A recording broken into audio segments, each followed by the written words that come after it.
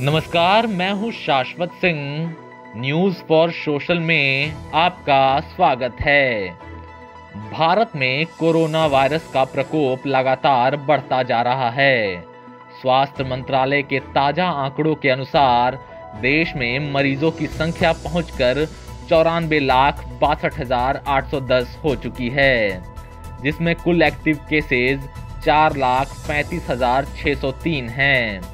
अब तक एक लाख सैंतीस हज़ार छह सौ इक्कीस लोगों की मौत और अट्ठासी लाख नवासी हज़ार पाँच सौ पचासी लोगों का उपचार हो चुका है और उन्हें हॉस्पिटल से छुट्टी दे दी गई है।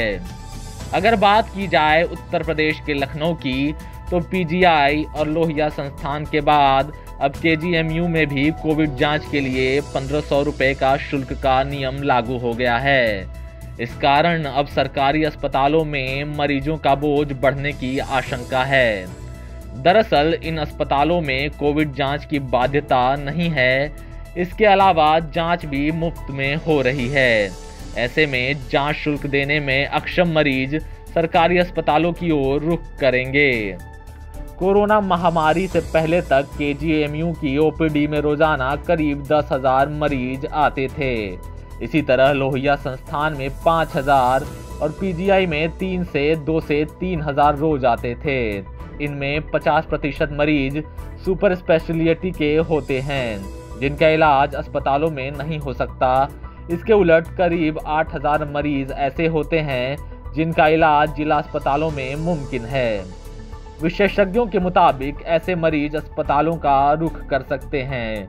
सिविल व लोक बंधु अस्पताल के निदेशक डॉक्टर डी एस नेगी ने बताया कि अभी कोविड जाँच के लिए शुल्क लेने का कोई आदेश नहीं है। अस्पतालों में फ़िलहाल जाँच निशुल्क रहेगी, लेकिन ओपीडी में आने वाले उन्हीं मरीजों की जाँच होगी, जिनमें लक्षण काफ़ी ज़्यादा होंगे।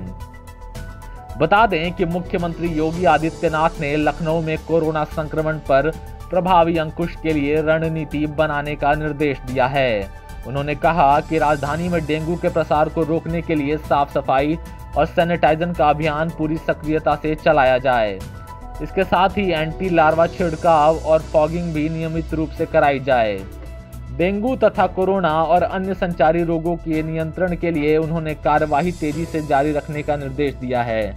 उन्होंने कहा कि कोरोना के खिलाफ पूरी सतर्कता और सावधानी बरतना बहुत ज़रूरी है। प्रदेश में अब तक कोविड 19 के डेढ़ करोड़ टेस्ट किए जा चुके हैं जो देश में सर्वाधिक हैं। अगर आपको ये हमारी वीडियो पसंद आई हो तो इसे लाइक और शेयर ज़रूर करें और हमारे चैनल को सब्सक्राइब करें। खबरों में बने रहने के लिए देखते रहिए न्यूज़ फॉर सोशल